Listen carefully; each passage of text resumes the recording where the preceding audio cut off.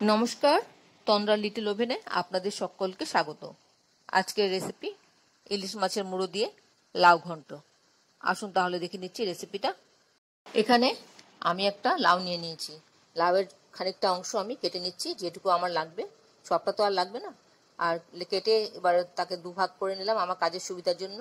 তারপর আমি এর খোসাটা এভাবে ছাড়িয়ে নিচ্ছি।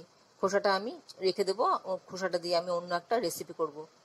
আর এইভাবে সবটা যতটুকু আমি নিয়েছি অংশ, ততটুকু খোসাটা আমি ছাড়িয়ে, ভালো করে ছাড়িয়ে নিচ্ছি। এবার এই এক একটা অংশকে আমি আবার এইভাবে দাগ দিয়ে দাগ দিয়ে করে কেটে নেব। কেটে নিয়ে আমার কাছে স্লাইজার আছে স্লাইজারে এভাবে ঘষে নিলে ঝিরিঝিরি করে কাটা হয়ে যাবে। এইভাবে আমি সবটা লাউ কেটে নিয়ে আসছি। এবার এখানে একটা ইলিশ মাছের মুড়ো ভালো করে ধুয়ে পরিষ্কার করে নিয়েছি। এবার আমি এটা দিয়ে রান্না করব। কড়াতে সর্ষের তেল দিয়ে দিলাম ওয়ান টেবিল স্পুনের মতন। তারপর তেলটা গরম হলে মাছের মুড়োটা দিয়ে দিলাম। তাতে একটু নুন আর একটু হলুদ গুঁড়ো দিয়ে দিলাম, আর একটু জল দিয়ে দেব, যাতে মাছটা একটু নরম হয়ে, সেদ্ধ মতন হয়ে মুড়োটা ভেঙে যায়। আর এবার আমি ঢেকে দিলাম একটু একটু বাদে আমি, এক মিনিট বাদে আমি ঢাকাটা খুলে আমি দেখছি মাছটা কতটা নরম হয়েছে। মুড়োটা নরম হয়ে গেলে এটা আস্তে থেকে আস্তে করে খুলে খুলে আসবে সব। তার জন্য বেশি কষ্ট করতে হবে না। এইভাবে মাছটা মুড়োটা সবটা খুলে এলো। এবার আমি ভালো করে ভেজে নেব কড়া করে। একটু কড়া করে ভাজতে হবে, তা না হলে কিন্তু আষ্টে গন্ধ হবে। তাই একটু লাল লাল করে কড়া করে ভেজে আমি তুলে নিচ্ছি মুড়োটা। এবার ওই তেলই একটা শুকনো লঙ্কা দিয়ে দিলাম। আর হাফ টিস্পুন মেথি দিয়ে দেব। মেথিটা একটু ফোড়ন হোক, তারপর এর মধ্যে একটা তেজপাতা ছিঁড়ে আমি দিয়ে দেব। এবার ফোড়নটা রেডি হলে এর মধ্যে কেটে রাখা লাউগুলো দিয়ে দেব। সবটা লাউ আমি। যতটা কেটেছি, সবটা আমি দিয়ে দিলাম। দিয়ে তার মধ্যে আমি দেব একটু নুন, একটু হলুদ গুঁড়ো,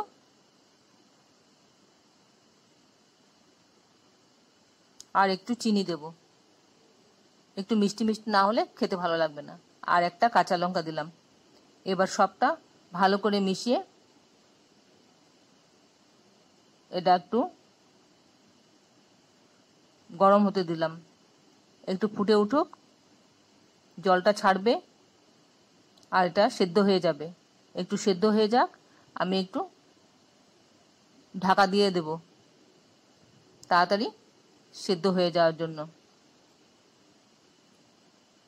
এই মুহূর্তে আপনারা কে কোথা থেকে আমার এই রেসিপিটা দেখছেন প্লিজ একটু কমেন্ট বক্সে কমেন্ট করবেন, যাতে আমি পরবর্তী রেসিপিতে আমি আপনাদেরকে অভিনন্দন জানাতে পারি। আর নতুন কোনো বন্ধু প্রথমবার আমার চ্যানেলটাকে দেখে থাকলে আপনাকে একটা বিগ হাক জানাচ্ছি।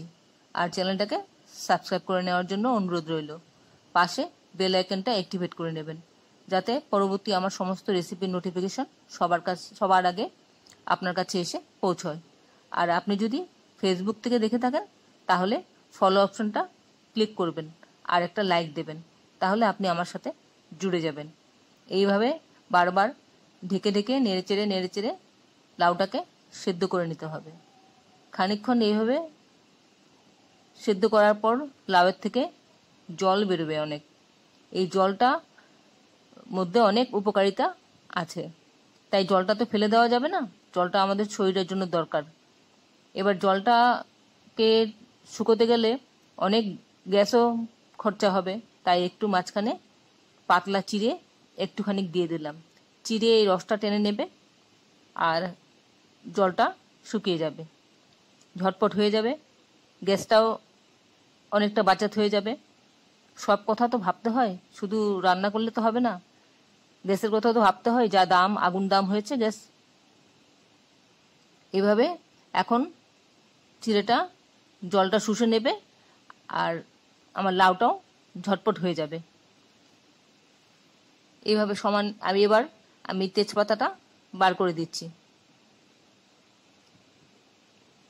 তারপর সমানে এভাবে নেড়ে নেড়ে বাকি যেটুকু জল আছে ওটা টেনে যাবে।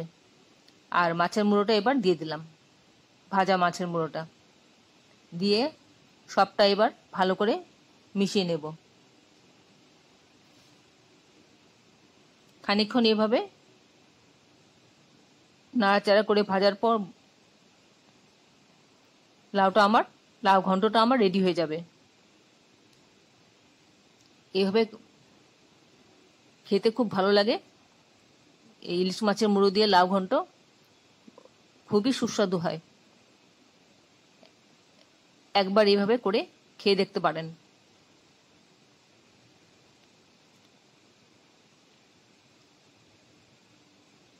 আমার রান্নাটা মোটামুটি হয়ে আসছে। আর খানিকক্ষণ পরে আমি এটা গ্যাসটা অফ করে দেবো। ব্যাস, একটু স্ট্যান্ডিং টাইম দেব, দিয়ে আমি প্লেটিং করে নেব। আশা করি আপনাদের ভালো লেগেছে। এভাবে করে একবার খাবেন।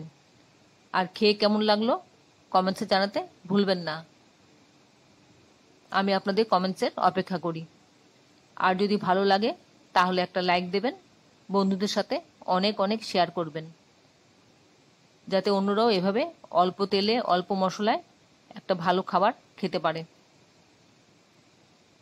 এতক্ষণ ধৈর্য ধরে সবটা ভিডিও দেখার জন্য আপনাদেরকে অসংখ্য অসংখ্য ধন্যবাদ। আপনারা সকলে ভালো থাকবেন, সুস্থ থাকবেন। ঈশ্বরের কাছে এই কামনা করি। আগামী দিনে আরও নতুন নতুন রেসিপি নিয়ে আসব আপনাদের কাছে। কথা দিলাম।